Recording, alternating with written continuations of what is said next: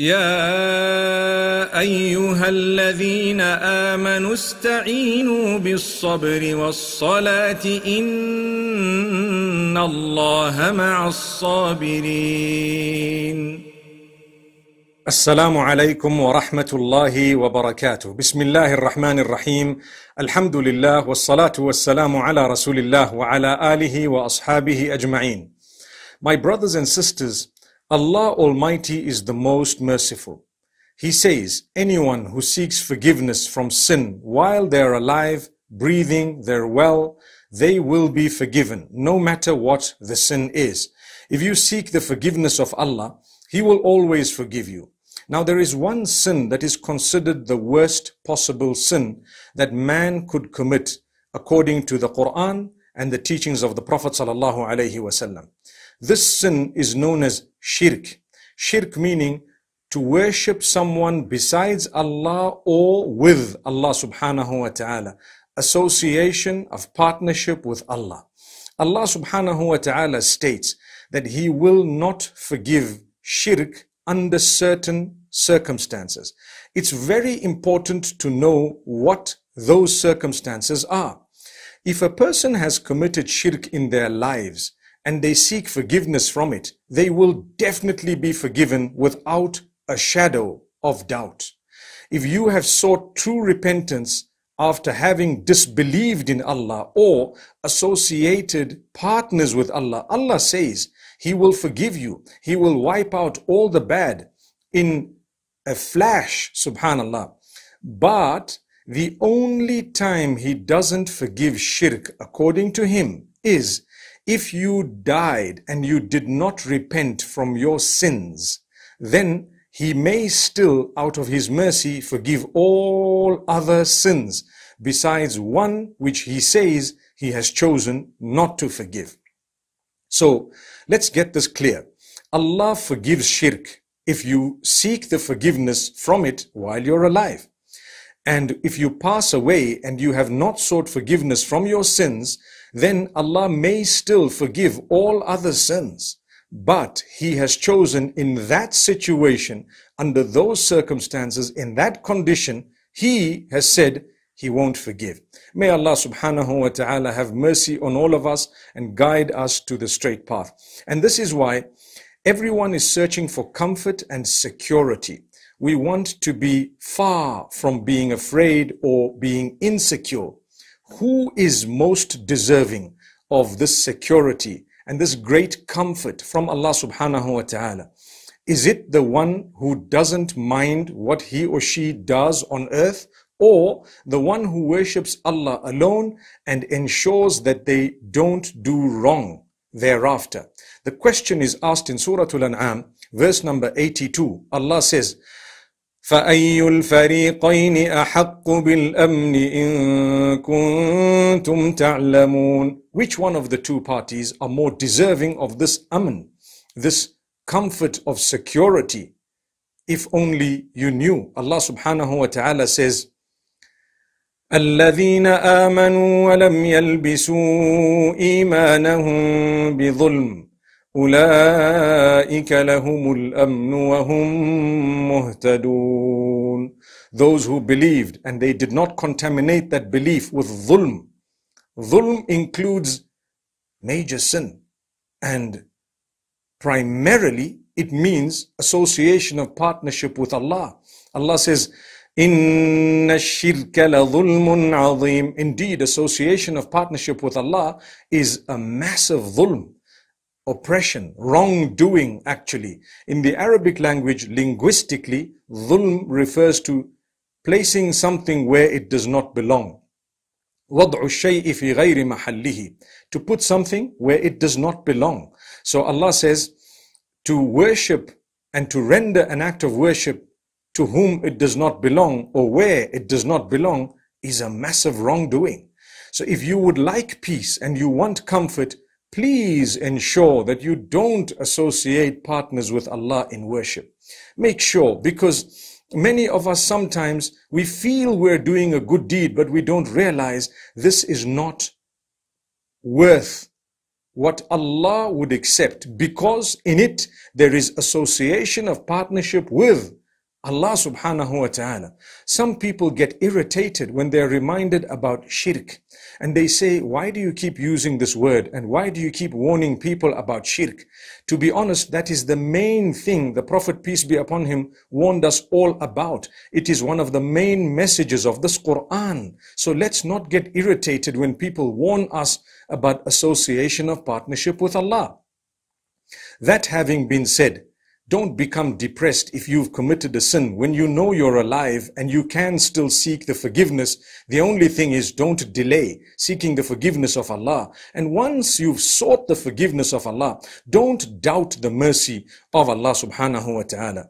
A very quick piece of information that many become oblivious about is that the companions of the Prophet Muhammad, peace be upon him, most of them were actually mushrikeen before they accepted Islam. They were idolaters. They were people who worshipped deities besides Allah and worshipped with Allah other deities. When they accepted Islam, their past was totally wiped out and they started with a clean slate. So Allah says, the rightly guided and those who are deserving of this peace and security are the ones who believe and do not contaminate that belief with any association of partnership with Allah. May Allah subhanahu wa ta'ala strengthen us.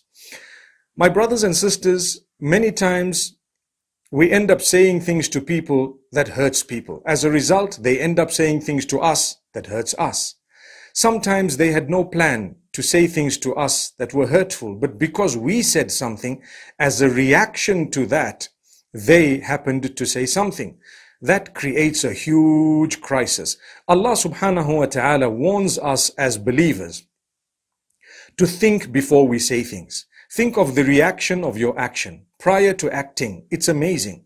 Before you say something, before you do something, think of what will happen as a result of your deed. If it is going to be negative, stay away from that. May Allah subhanahu wa ta'ala protect us. So, there is a narration of the Prophet ﷺ that actually warns a person who curses his own parents.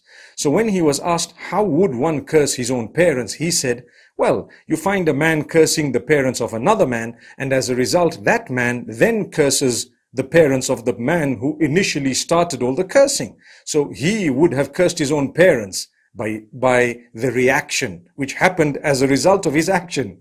Subhanallah. So Allah tells us, be careful because some of you may cause the insulting of Allah or of the messenger or of the Quran or of something sacred as a result of your insults to someone who perhaps is calling out to deities besides Allah. So think about it and don't do it.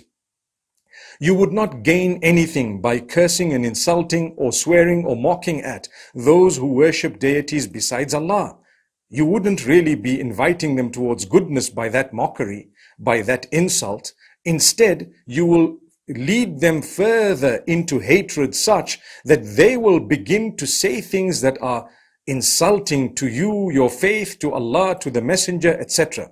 Listen to verse number 108 of Surah Al-An'am. Allah says, ولا تسبوا الذين يدعون من دون الله فيسبوا الله عدوا بغير علم Don't insult those who are calling out to deities besides Allah, because as a result, they may then uh, insult Allah without knowledge. Who would have caused it? Your insult would have prompted it. So if you want to achieve comfort in any situation, don't insult people. Don't abuse them. You disagree, express that disagreement with utmost respect. Respect yourself to begin with, and then respect others.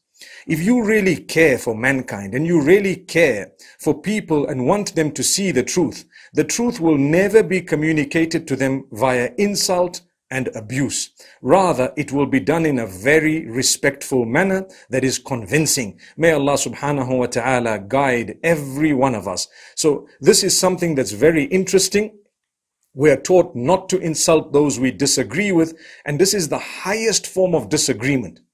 Many times you find even people of religion, they don't realize they fall into the traps of the devil, where when they want to disagree with someone, they are unable to do it except by hurling insults and using the most abusive words. Yet Allah is telling you those who are perpetrating the gravest crime of shirk, they are associating partners with Allah.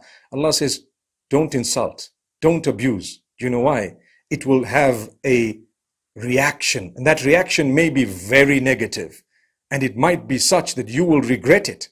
May Allah grant us good guidance. May Allah subhanahu wa ta'ala help those who are trying to guide people towards the straight path to bring them through, inshallah, with that which is really, really respectful. Ameen. Then Allah subhanahu wa ta'ala talks about the killing of one's own children. In Surah Al-An'am, verse number 140, Allah says, قد خسر الذين قتلوا أولادهم Indeed at a loss are those who have killed their own children. To put this into context, there was a time when people did not want female children. So when they had females, they would take the child and bury that child alive. They would kill the child. May Allah subhanahu wa ta'ala protect us. We are taught that you have male or female. Be happy that Allah's blessed you with a child to begin with and thereafter a healthy child. And Alhamdulillah, even if the child may have a few challenges, consider that a gift of Allah to you. It's your means of earning paradise. Alhamdulillah. But don't ever be upset with the choice of Allah for you. Some people to this day have so much of ignorance in them, they lose their comfort and they plunge themselves into crisis simply because they're not happy that Allah's given them only girls. There's nothing wrong with that. Some are not happy that Allah's given them only boys. There's nothing wrong with that. Some are not happy that Allah's given them boys and girls. There's nothing wrong with that. Some are not happy that Allah has not bestowed them with children. There's nothing wrong with that. There are people from all these four categories and you're not the only one. May Allah bless us with what we love, but at the same time, He knows what's better for us. So Allah says, at a loss are those who have killed their children for whatever reason it is. May Allah subhanahu wa ta'ala grant us goodness and may He bless those who don't have children with children and make us pleased with the children he has granted us. أقول قولي هذا وصلى الله وسلم وبارك على نبينا محمد. يا ايها الذين امنوا استعينوا بالصبر والصلاه ان الله مع